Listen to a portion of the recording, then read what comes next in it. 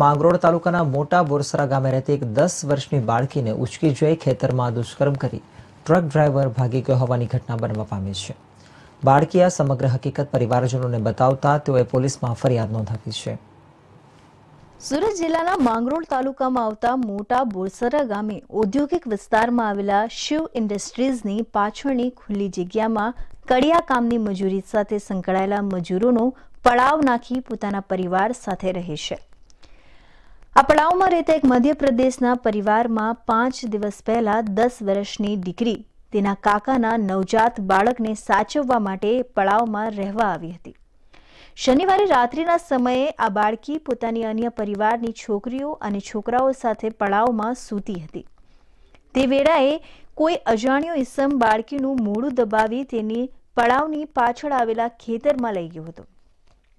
ત્યાં તેણે માસૂમ બાળકી સાથે દુષ્કર્મ આચરી તેની ત્યાં જ છોડી નાસી ગયો હતો. આ ઘટના બનતા માસૂમ બાળકીએ રડતા રડતા પડાવમાં આવી પોતાના કાકાના પરિવારને સમગ્ર હકીકત જણાવી હતી. દીકરીના પરિવારજનોએ આ મામલે કોસંબા પોલીસને જાણ કરતા પોલીસે તાત્કાલિક ઘટના સ્થળે પહોંચી બળાત્કારનો ભોગ બનેલી દીકરીને સારવાર અર્થે સુરત સિવિલ હોસ્પિટલમાં ખસેડવામાં આવી હતી. પોલીસને પ્રાથમિક તપાસમાં જાણવા મળ્યું હતું કે તળાવની સામે આવેલી ઇન્દ્રજીત નામની કંપનીમાં એક ડ્રાઈવર દમણથી ગાડી લઈને આવ્યો હોય. તે ગાડી મૂકીને ફરાર થઈ ગયો હોવાનું જાણવા મળ્યું હતું. જેથી પોલીસે આ છોકરી સાથે દુષ્કર્મ કર્યું હોવાની શંકા સાથે આ શંકાસ્પદ ઘટનાની તપાસ કરતા એક જગ્યાએથી આ ડ્રાઈવરના સીસીટીવી મળી આવ્યા છે.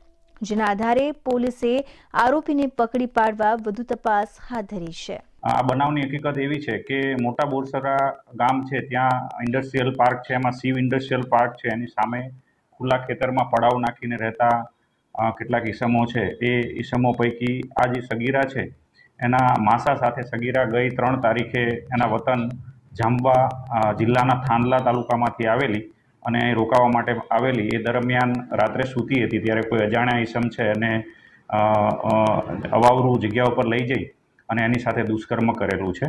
આ ઘટનાની જાણ થતાં સુરત જિલ્લા એલસીબી, એસઓજી સહિત જિલ્લાના ડીવાયએસપી બીકે વનાર તથા કોસંબા પીઆઈ એચપી ગોહિલ સહિતના પોલીસ કાફલાએ ઘટના સ્થળે પહોંચી તપાસ આદરી હતી.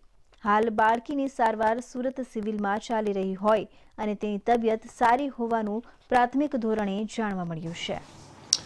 બારડોલી તાલુકા